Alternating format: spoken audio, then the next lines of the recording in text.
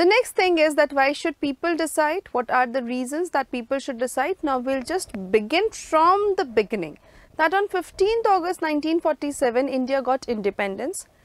People used to fear the British government and did not agree with their decisions.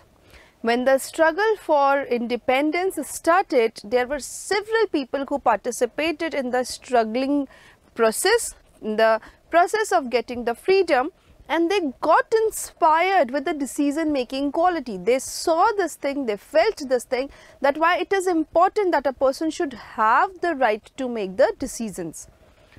Ideas of freedom were introduced by the freedom fighters. Those were the people who made a crucial role in the formation of the constitution also.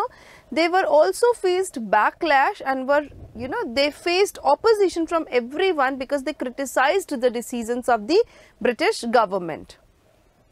This is a picture that what happened. This is a very old picture which you can see the black and white quality of the picture.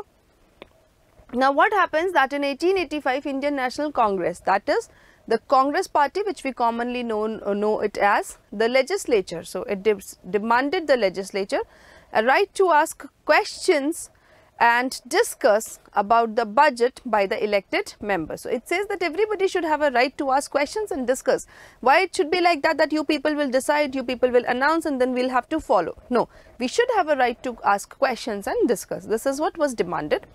Then in 1909, see the year in 1885 they demanded and in 1909 this right was provided. So the government of India act allowed. Then there was an act passed which says the government of India act and it allowed the elected members not everyone only the elected members because the elected members are our representatives only. That is why. So they were allowed this freedom. Okay you can ask the questions and you can also participate in the decision making. That time also india was under the control of britishers.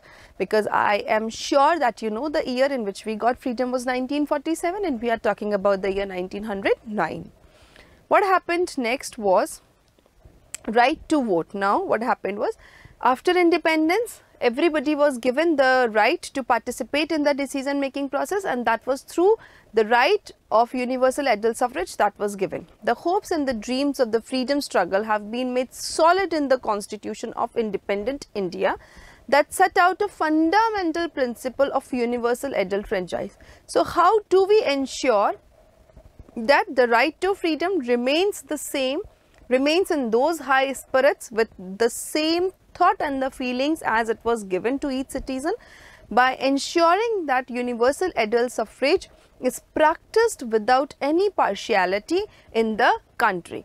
Because not everybody can go and sit in the assembly not everybody can take uh, be the participant in the decision making process. But what we can do is once we are either of 18 years or above we can choose a person who is going to represent us now what happens people and their representatives? So basically the idea of democracy is all about the people's participation in the political process. Democracy is all about the participation of the people. By now I am sure you all know this thing that what is true, true democracy means. It is based on the concept of consent of the people. Because if I say no for something, that thing cannot be practiced in a country because if I am saying no that means many other citizens lakhs and crores of the citizens of which are of the same mind as I am will always say no for that particular thing and uh, anything that is being discarded by the citizen cannot be practiced in a democratic country. Now the decision by the people makes a government democratic and also decides its functioning. So how do we make sure that this is a democratic government by practicing the right to vote. Political parties. The idea of democratic government is that the citizen of any country is an important person and the government and other public institutions they need to have a set of rules on which these citizens can trust, the rules which these citizens can follow. There are few, these are the icons of some famous political parties. It's BJP, Congress, Samajwadi Party and AAP Party. Now people elect their representatives to the parliament and then the government is formed from these elected representatives.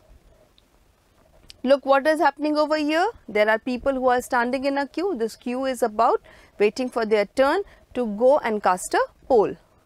The parliament which is made up of all the representatives together, whoever we elect from different different parts, where do they all go? They go to the parliament. They sit there together, they regulate and directs the government. In this sense, people to the direct representatives forms the government and also keeps control over it. Again, this is a line in that there were all the people standing and this is a line where specifically females are also standing and why are we showing you this picture to show that there are few places where there is no discrimination that only males can do and females cannot.